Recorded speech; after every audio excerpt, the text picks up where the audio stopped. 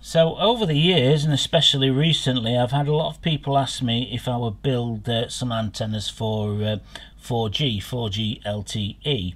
And uh, this is going to be the first one. Now, this one I'm going to show you how to build today will work um, sub 1 gigahertz, so around uh, 900 megahertz to 1 gigahertz, and it will also work at around uh, 1.9 megahertz up to around 2.3 gigahertz. So the lower band uh, below uh, 1 gigahertz, what you get with that one is more range, but you get less speed. And uh, the higher frequency into uh, the uh, 2 gigahertz band, you get less range, but you get greater speed. So this is a nice uh, compromise antenna, a dual band antenna. It's also quite wide in its frequency of operation. Although with anything like this, when you're trying to cover such a wide area, you will always sacrifice gain. So it's not exactly a powerful antenna. It's going to give you about 3 dB um, in the sub 1 gigahertz uh, range, and it's going to give you about uh, 4 4.5 up in the uh, 2 gigahertz range and that's something you just can't uh, get over once you make um, an antenna that covers such a wide band like this you will always sacrifice gain gain. It's just physics at work.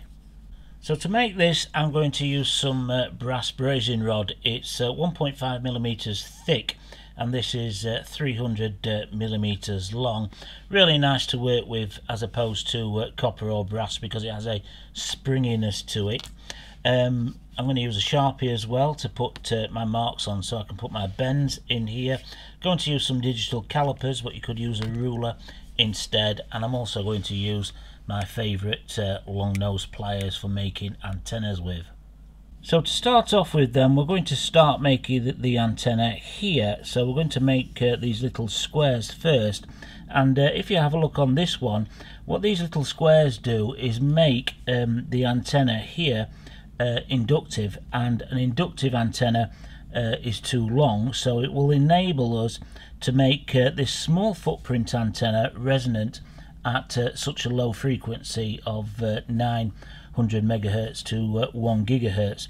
Uh, without these uh, inductive squares in here, then uh, the antenna will be way, way too big. So we're going to start off bending here and put this bend in here first. So to start the antenna off then, I've got my uh, calipers here set at 10 millimeters.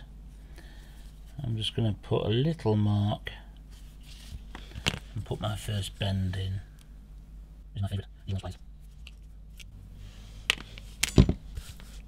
And then for my second mark I'm going to put my calipers right in the middle of that first bend here although this is a pretty uh, forgiving antenna if you're off by a millimeter it's not going to make that much difference it is a pretty forgiving uh, design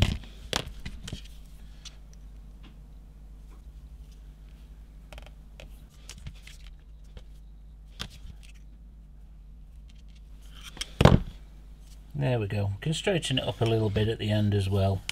So my next measurement is 20 millimeters from here to here.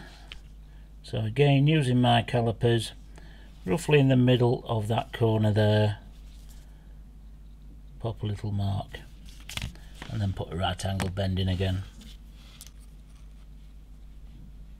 And next we've got 19.5 millimeters.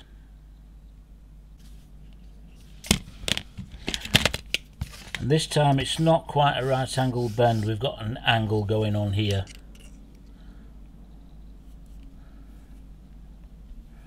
So I'm just putting a uh, slight bend in like that. We can uh, alter the angle when we've got it all constructed later.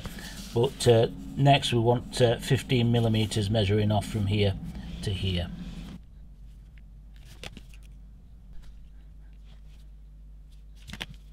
And again not quite a right angle bend and then 15 millimeters from here to here and now we've just got to repeat here what we did over there So once you've got everything as straight as possible, it's time to do some soldering to this now. Now the first thing we're going to do is close these two loops here to add inductance to uh, the uh, design. So we need to solder these in place to close these loops.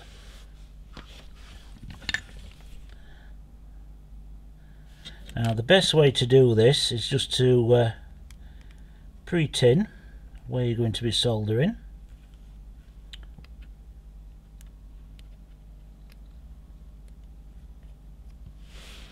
And then get yourself some uh, needle nose pliers. Try and do this on uh, camera. If I do this one add a little bit of pressure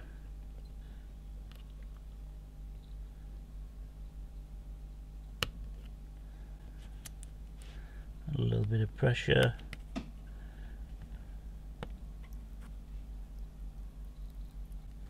Now I've got my uh, two loops soldered up. I've now got inductance in my antenna. So next we're going to solder on the uh, three legs. We've got two legs at 20 millimeters and one at 15. And I want to solder on these at a slight angle, roughly following this angle here.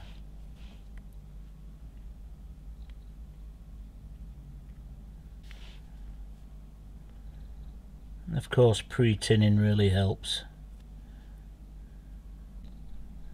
Finally, the shorter one in the middle.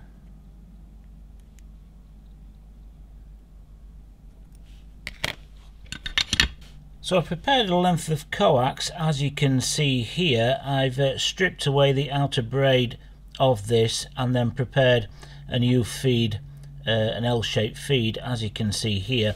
What I'm going to do is cover this in heat shrink tubing all the way up to here and I'm going to solder the antenna on on these two points here.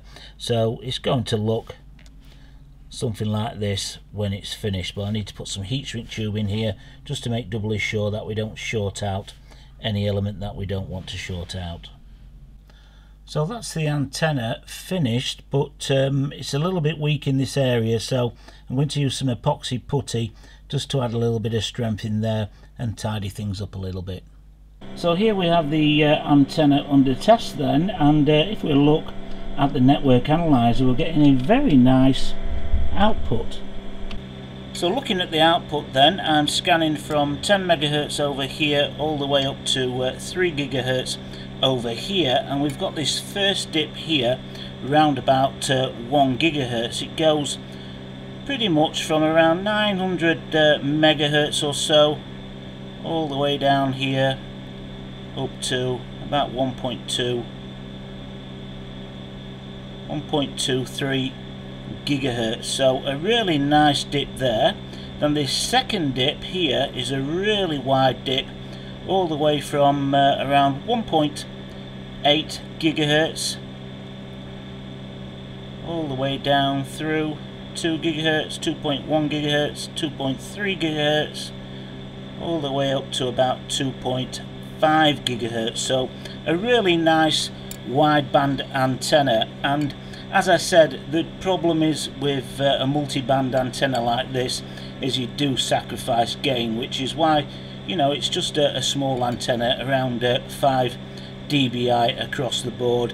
Here we're going to have uh, a little bit less uh, gain here than we do here so we're probably going to have about uh, 2 maybe 3 dB of gain and around here probably 4 dB of gain. So yeah not the most powerful antenna in the world but a nice one to start off building first a nice wideband antenna that should work uh, really well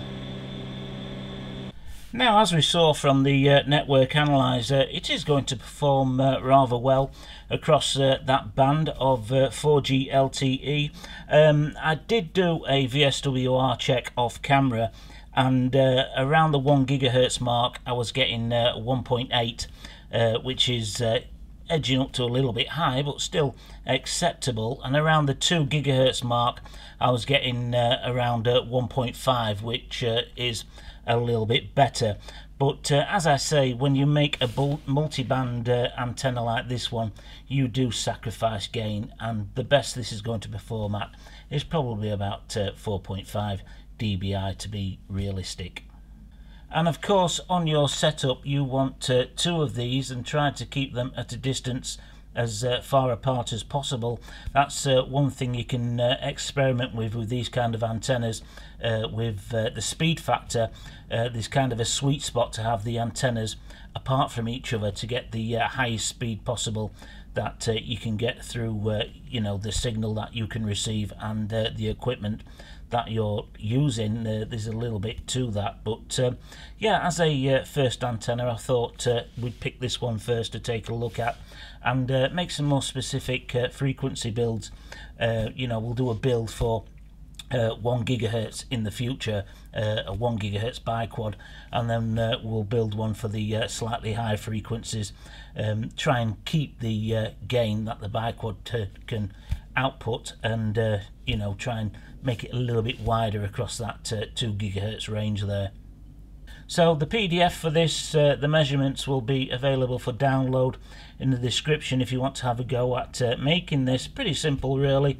Um, you know, if you've got the tools then you can knock up a couple of these in an afternoon, no problem at all. So if you did enjoy the video, please give it a uh, thumbs up. Any comments or questions, drop them below and I'll do my best to answer them and hopefully you'll join me on the next one.